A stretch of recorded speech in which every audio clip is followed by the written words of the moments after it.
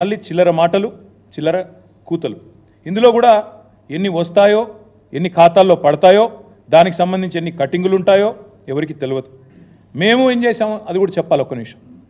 BRS ప్రభుత్వం ఆనాడు మొదటి దఫా two thousand fourteen to eighteen మధ్యలో చేసిన రుణమాఫీ.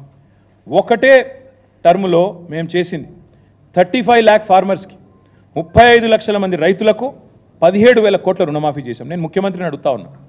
మేము మొదటి టర్ములో లక్ష రూపాయల వరకే రుణమాఫీ చేస్తే ముప్పై ఐదు లక్షల మంది రైతులకు పదిహేడు వేల కోట్ల రుణమాఫీ కేవలం లక్ష రూపాయలకి. మరి ఇలా రెండు లక్షల రుణమాఫీకి నీ లెక్క ప్రకారం ఎట్లా సేమ్ అమౌంట్ అవుతుంది? ఎట్లా పదిహేడు వేల తొమ్మిది వందల ముప్పై నాలుగు కోట్లు మాత్రమే అవుతుంది? చెప్పాలా? రైతులకు సంతృప్తికరంగా వివరణ ఇవ్వాలా? ఈ ఒక్క లెక్క చాలు. కాంగ్రెస్ రుణమాఫీ ఎంత దగానో ఎంత వంచననో ఎన్ని రకాల ఆంక్షలు ఎన్ని రకాల కొర్రీలతో ఎన్ని రకాల కోతలతో ఎన్ని లక్షల మంది రైతులను ముంచినో చెప్పడానికి ఇది ఒక్కటి చాలు. ఇంకా నికృష్టమైందంటే ఏంటంటే మేమున్నప్పుడు రుణమాఫీ చేశాము రైతు బంధు కూడా వేసాము రుణమాఫీ చేసినాము రైతు బంధు కూడా వేసినాం. మేము మొత్తంగా చేసింది చూస్తే డెబ్బై రెండు వేల కోట్ల రైతు బంధు అకౌంట్లో డిపాజిట్ చేశాం. At at the same time దాదాపు ముప్పై వేల కోట్లు మేము రుణమాఫీ చేశాం. అంటే లక్ష కోట్లు రైతులకు రుణమాఫీ రూపంలో రైతు బంధు రూపంలో ఇచ్చింది బీఆర్ఎస్ ప్రభుత్వం. నువ్వేం చేసినావు ఈరోజు? పేరుకేమో చెప్పేది పదిహేడు వేల కోట్ల రుణమాఫీ చేసినాను. కానీ వానాకాలానికి ఇవ్వాల్సిన రైతు భరోసా పద్నా పదకొండు వేల నాలుగు వందల కోట్లు. అది ఎగ్గొట్టినావు కదా? ఇప్పటివరకు ఇవ్వలేదు కదా? కేసీఆర్ ఉన్నప్పుడు జూలైలో వచ్చేది రైతు బంధు. ఇలా వచ్చిందా? రాష్ట్రంలో రైతులకు తెలవదా? ఇవాళ ఇచ్చే సూచన ఉందా కనీసం? లేదు.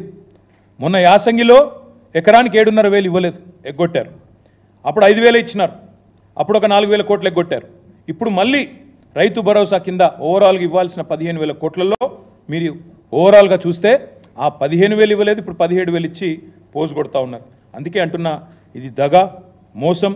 రైతులను నమ్మించి గొంతుకోసి తడిగుడ్డతో గొంతు వాడు రేవంత్ రెడ్డి కాంగ్రెస్ పార్టీ. మేము ఇప్పుడే నేను చెప్పాను రుణమాఫీ రైతు బంధు కలిపి మేము ఇచ్చింది లక్ష కోట్లు. తొమ్మిదిన్నరేళ్ళలో మీరు ఇవాళ ఇచ్చింది కేవలం పదిహేడు వేల కోట్లు. ఈ లెక్క కరెక్టా కాదా? చెప్పాలని చెప్పి నేను డిమాండ్ చేస్తా ఉన్నాను చారానా కోడికి బారానా మసాలా అని తెలంగాణలో సామెత.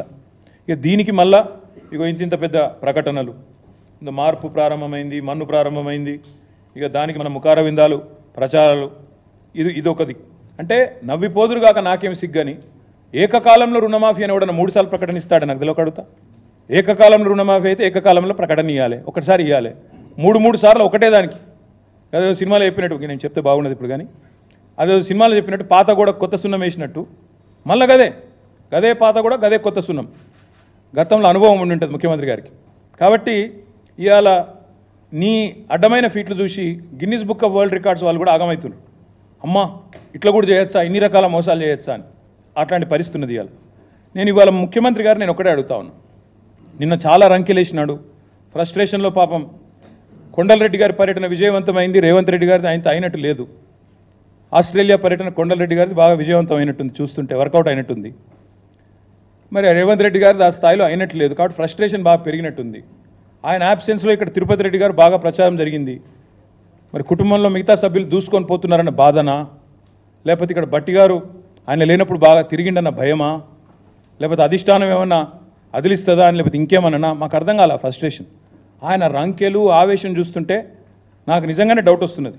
ఆయన మాట్లాడే మాటలు నిజంగా ఎందుకంటే నేను అమెరికా పోయిండు వచ్చిండు పంద్రా ఆగస్ట్ నాడు స్పీచ్ ఇచ్చిండు. నేను వింటా ఉంటే నిన్న ఏమైనా మంచి ముచ్చట్లు చెప్తాడేమో ముఖ్యమంత్రి అని. చాలా విచిత్రమైన విషయం చెప్పిండు. బాక్రా నంగల్ ప్రాజెక్టు తెలంగాణలో ఉంది మాకు తెలియదు ఇన్ని రోజులు. మేము పిచ్చోళ్ళ లెక్క ఆడిపోతున్నాం ఉత్తర భారతదేశానికి. మాకు తెలిస్తే ఇక్కడికే పోతుంటే ఇంత గొప్ప ముఖ్యమంత్రి మాకు ఇచ్చినందుకు కాంగ్రెస్ పార్టీకి ధన్యవాదాలు. ఎందుకంటే విచిత్రంగా ఉంది మాకు ఈ రుణమాఫీ విషయం. నేను అందుకే ముఖ్యమంత్రి గారిని సూటిగా సవాల్ చేస్తా రేవంత్ రెడ్డి గారు నీకు చిత్తశుద్ధి ఉంటే నిజంగానే నువ్వు చెప్పిన మాటల్లో ఒక్క వన్ పర్సెంట్ నిజం ఉన్నా నీ నియోజకవర్గానికే పోదాం రా.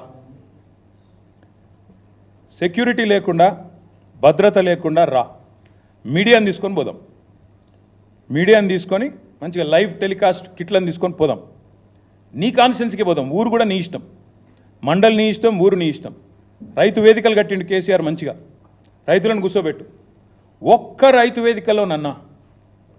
రైతులు కనుక హండ్రెడ్ పర్సెంట్ రుణమాఫీ అయిందంటే నేను అక్కడే నా రాజీనామా పత్రం స్పీకర్ గారికి పంపిస్తా.